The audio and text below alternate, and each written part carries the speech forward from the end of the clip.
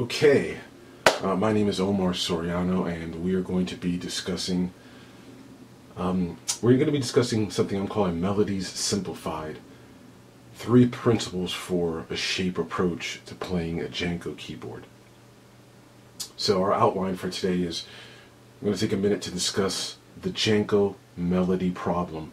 What's the problem? What's the trouble with playing melodies on a Janko layout keyboard? Then I'm going to lay out three principles for the approach I've developed. I don't know if it's a final solution. It's something I've been working on for about six or seven months.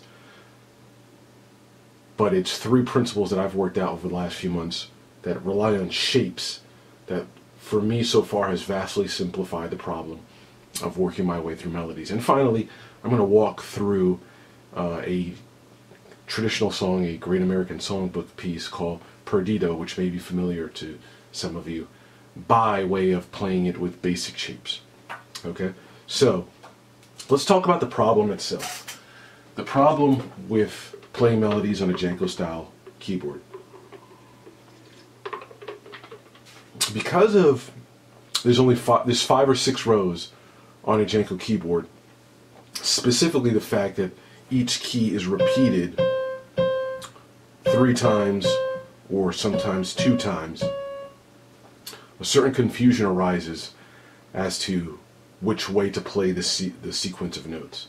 So, for example, if you have a melody um, that goes, you know, should you play all those notes in a row? Should you seesaw up and down? Should you maybe start low or go high and then end low? There's a bit of confusion there. So there's literally literally dozens of possible ways to play a pre-existing melody. And that presents a problem for us as a Janko community that we are going to have to find a solution for uh, as we are growing in the world taking this instrument seriously. So the desired solution, and I say the desired solution um, because sometimes you don't know what the solution is, but you know what the solution should look like. So the desired solution is going to a, it's going to utilize patterns already familiar to the player. In other words, if the player already knows how to play a shape that looks like this, um, when it comes time to play a song, do we really want, you know, the player to be playing, you know, you know, if they've already got a style, if they've already got a shape that they've got in their muscle memory, why not just go ahead and use that as opposed to something that's unfamiliar? That's going to slow down the amount of time it's going to take to learn something. So the second desired, the second aspect of a desired solution would be that it would give the player some kind of mnemonic advantage for memorizing the tune, right? So a melody that looks like this, you're instantly going to think, okay, I'm going to play those three whole notes in a line, is probably going to be easier to memorize than a line that looks, you know, maybe like this you know, or uh, you know, whatever. And, and you'll imagine the most arbitrary thing you could play on the keyboard is going to be harder to memorize than something that's orderly, neat, and fits into a recognizable shape. And the third thing is uh, we want the the shapes to be comfortable for the player. Now, I've been very vocal in the past about ergonomics and comfort not being the utmost consideration in Janko keyboard playing. It is a priority. For me personally, it's not the priority for me, the highest, most important thing going on uh, in a Janko keyboard is isomorphism. That is, that same shapes give us same sounds.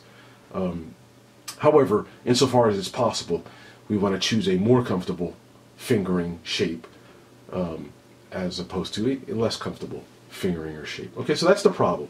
So here's the solution I've been working out. Solution is probably a strong word.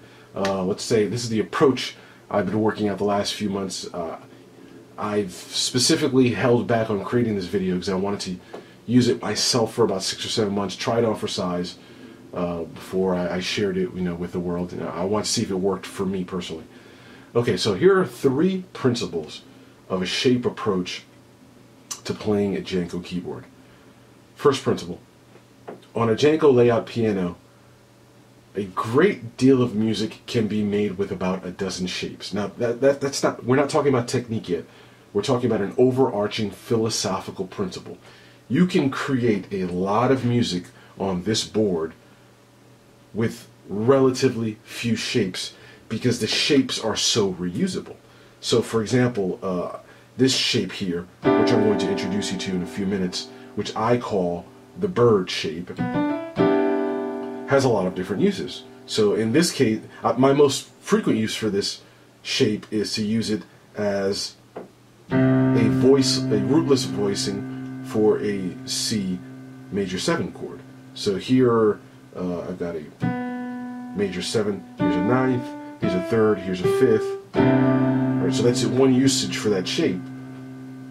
However, if I place it starting on the 6, 6, 1, 9, 4, now I've got a, a C6 with a fourth suspension in there. So one, one shape, multiple uses. So one of the goals of this approach to Janko keyboard playing is we want to get as much mileage out of possible out of any one shape. Find a shape that works for you, and then over time look for more and more uses of that same shape. Try to get as much music as you can out of that same shape. Okay, second principle. The goal in general is to make music with fewer shapes. When in doubt, use a familiar shape instead of an unfamiliar shape. This is almost the first one stated uh, just in a different way. So if I'm working my way through a song and uh, this is one of my shapes and I've got a melody that goes like this, instead of using this shape, and there's nothing wrong with this shape, but if this isn't one of my shapes that I've internalized and play a lot played a lot over time. Why would I choose to use this shape when playing a melody when I've got this shape already under my belt? You know, so when in doubt, go with the shape that you've already had under your belt. You're to see you're going to see learning go a lot faster that way. And the third principle of a shape approach to playing is group sequences of serial notes into manageable groups then memorize the shapes, not the individual notes. So this, this, this is probably the most important thing going on here on this page. Memorize shapes, not notes. Now, we do that in other parts of music all the time. All the time. If you were explaining to somebody how to play uh, Autumn Leaves, now I'm going to switch gears here and talk about chords as opposed to melody. Because we do this all the time with chords. We group things into, into groups. So if you were to explain to somebody how you play Autumn Leaves, you wouldn't say, well, I start off with a B flat, then a D, an E flat, and then a G. And then I move to uh, an A, C, an E flat, and a G. And then I finally take it to C, D, F. That's how I play Autumn Leaves. We don't talk that way we organize notes into groups. We say, I play a C minor 7, I take it to an F dominant 7, and then I resolve on a B flat major 7. Not only do we do that, but those of us who are, are a little bit more meta in our thinking, we might just say, I open up uh, I open up Autumn Leaves with a standard cadence. We've gotten to the point where we give names to a movement of chords because it's so much easier to remember one concept for a, a group of data, a group of information, than it is to remember individual data points. So what we're doing here with this approach to shape playing melody is we're taking the same thinking that we've been using for chords, the same thinking that we've been using for chord progressions, and now we're going to apply it to individual notes, to melodies. Okay? So, uh, that's the concept, that's the philosophy. When I'm learning a song, I like to memorize the head, the melody of the song. So I'll usually acquire the sheet music for the song. And because I'm not a particularly great sight reader, I'll take a green pen and I'll circle or I'll draw squares around groups of notes that I think can be grouped together into shapes. Now you can't see this on the page here. So for the purpose of this video, what I've done is I've drawn up a few diagrams that are easy to pick up on the camera. So the first three notes of Perdido go like this. Okay, now there's any number of ways we can shape that or finger that, right? And that's the problem. because it can go like this, it can go like this, it can go like this, and we're only up to the first three notes of the song. I mean, that can be frustrating. Which way do we do it? Which pathway do we take? Well, when in doubt, use a familiar shape instead of a instead of an unfamiliar shape. So I suppose you could you could look here and say, well, that looks a little bit familiar. Maybe that looks familiar. For me, this instantly, maybe not instantly, well, instantly now because I'm getting experience at doing this, but to me that looks like a, a shape that I play very frequently, which I call the bird. Right? Because to me it looks like a bird. Here's one wing, and here's another wing. Okay? Now, I use that shape all the time, especially in chords. That's how I choose to finger, all right, that's how I choose to shape my major seven chords. That shape is also useful because if I start on the sixth degree, I'm playing a C6 with a suspended fourth. In other words, that shape, this shape comes up all the time in my playing. So what I'm going to note down on my sheet music is I'm going to note the, the note that's at the very beginning, the one that I build off of, C, E flat, F. And even though I don't play this note right away in this melody, I'm going to, that's part of my shape that I'm used to seeing. Right? So when I go to play Perdido, I don't think so much in terms of C, E flat, F. I think in terms of, oh, I'm going to play Bird starting from C. I might even throw in this extra note here, even though it's not part of the melody. Okay? Okay, so one, three notes down, right? So the melody goes. Okay. Now we move to another set of notes. We've got, or it could be, or it could be, we've got these options, right? So what we're doing is we're going to start look for looking for a familiar shape that has that contains those three notes. So we could do. I've got a shape that goes like this. I've got another shape, I guess, that goes like this.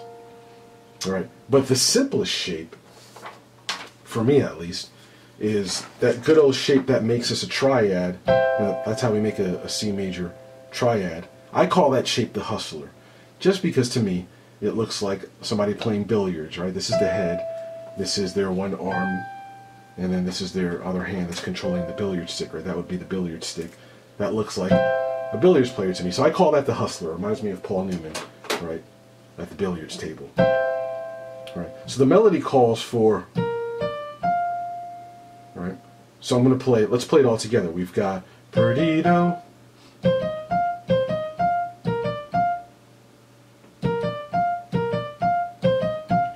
Right? Do you see what's happening here? There we are, we're, we're through the first five or six bars of the song, and we've done it with only two shapes. We've got the bird shape, and we've got the hustler shape.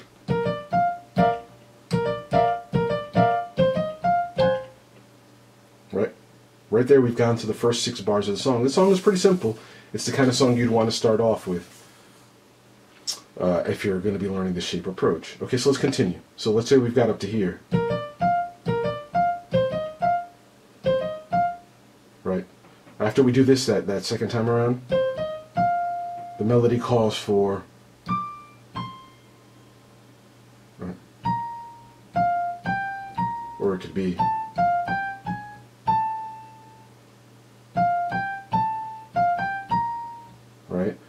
So this is where we get that confusion, right? Oh man, should I be playing this one up here or this one or this one? Okay, what I'm going to suggest is once you get here, go up to here and play an octave. Now I played the octave on the second row. Uh, I'm trying to re I'm going to reteach myself pretty soon to play it up here as well. So however you play an octave, go ahead and play that octave, right? So we've got, and the next melody note is here. So we could either play it here, or we could play it here. Right From the very top.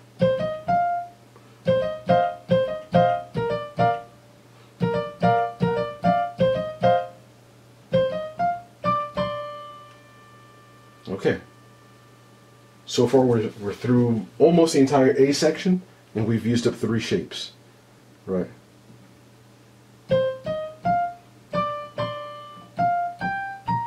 Last part of that melody goes. So where do we play this? We could play it here, or we could play it, you know, here. Well, to me, when I see these three notes in that kind of shape, I'm thinking, hey, look, that looks like bird again. Right? Except instead of building bird from C, this looks like bird built from D. So I'm not even going to create a new page for that. In my mind, I'm just going to file it as that's another bird. Right? Okay? And then there's this very last sequence of notes, right, which goes. Should we should we shape it that way? Should we shape it like this? Should we shape it like this?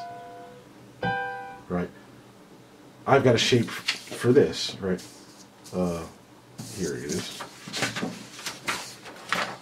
Which I call a broken wing, which is almost exactly like the bird, except it looks like this little wing here is kind of broken in. Like if you're a bird and your wing is broken, that's what you would look like, right? So, so I'm going to play those three notes. This, see that shape there? Looks just like a bird. Looks just like a bird, except the wing is broken. So that's what I'm going to call it. I'm going to call that a broken wing. Okay, so I've just gotten through the first eight bars of Perdido.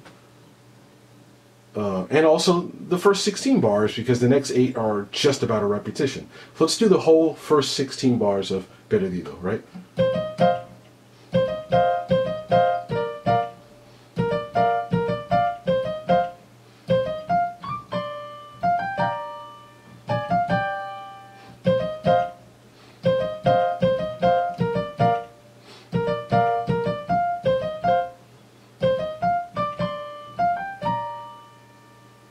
16 bars of a great American songbook piece with one, two, three, four shapes.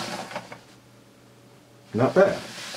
Not bad. This this should be something inside of you should be saying this is a much easier way to learn melodies.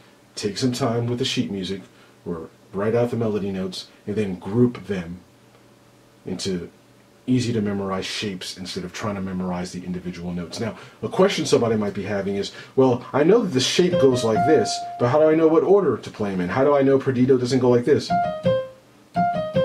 The answer is twofold. The first answer is as your ear starts to develop, once you've narrowed down that that part of the melody is existing in a shape and there's only four notes in that shape. I'm not saying it should be obvious, but as your ear starts to develop, it's not that hard to figure out, oh, the melody goes like this. It starts low and then it goes up a little higher.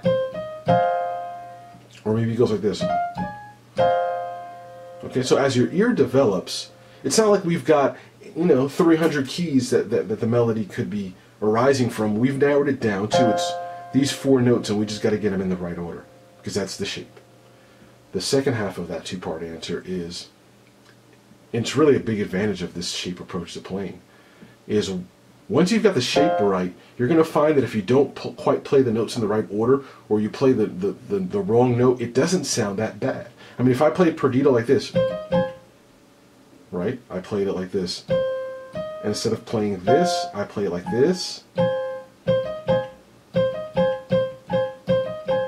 It doesn't sound that bad. It sounds like I'm just improvising, having fun with the melody.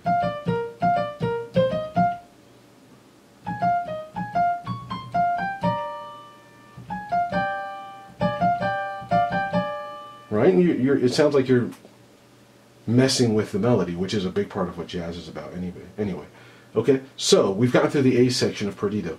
Now we get to that chorus, right? That goes, I should say, the bridge, the B section. Right? Now we could play that, you know.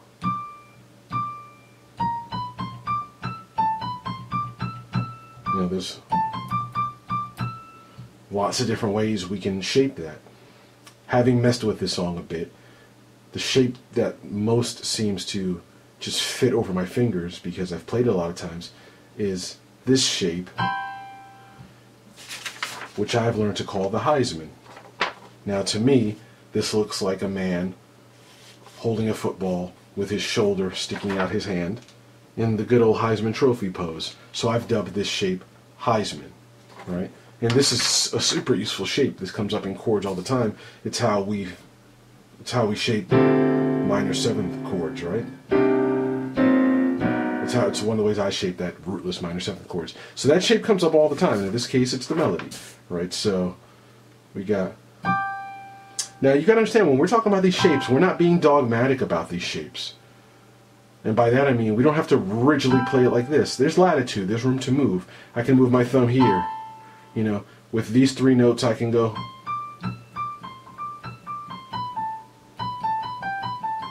Right? So the shape is just that. It's it's a, a rough estimate of the position I want my hand to be in to properly hit those notes. So I'm going to say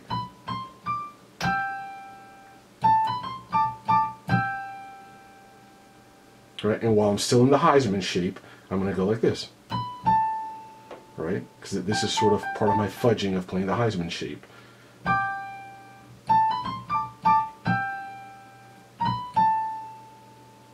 Okay? So boom, we've just played the four bars of the B section. Now, what's beautiful about a song like Perdido is because it uses the chord sequence of the rhythm bridge, which goes like this. As a matter of fact, look, I'm playing the same exact shape in my left hand, right? There's that Heisman shape.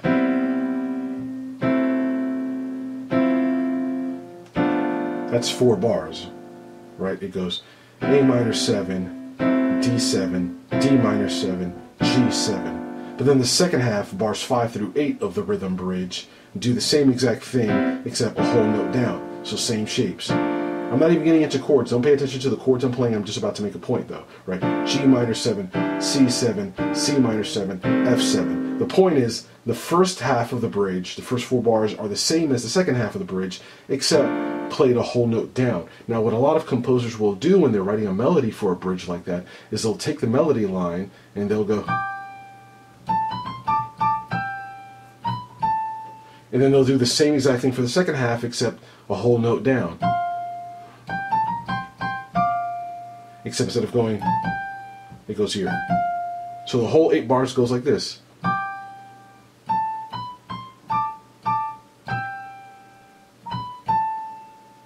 Same thing except going down starting from here.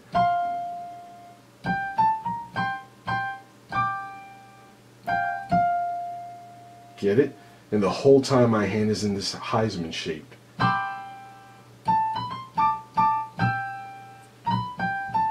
You see, actually, that's a, that's a good teachable moment right there. Do you see how I hit the wrong note there? I said like this, and then I went like this.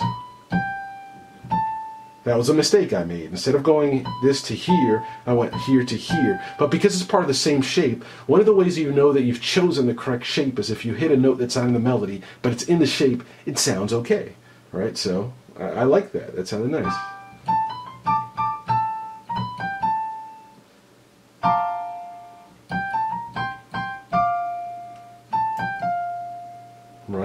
Fudging it to show you if you play the right notes and if you play the wrong notes in the right shape, you'll probably get a good sound. So there we are. We got through the entire B section, the whole eight bars, primarily relying on one shape, this Heisman shape.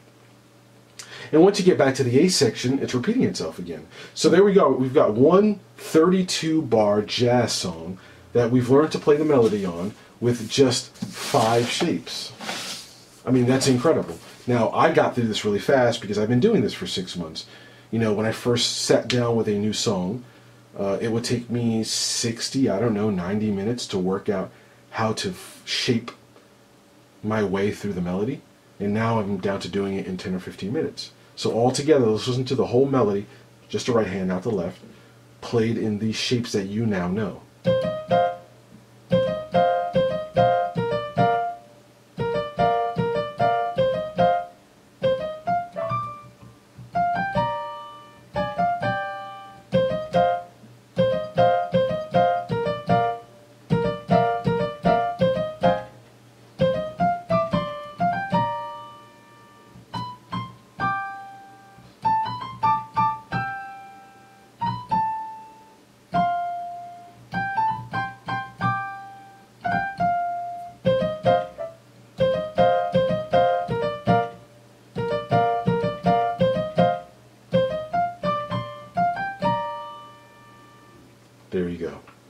Approach to playing melody on a Janko piano.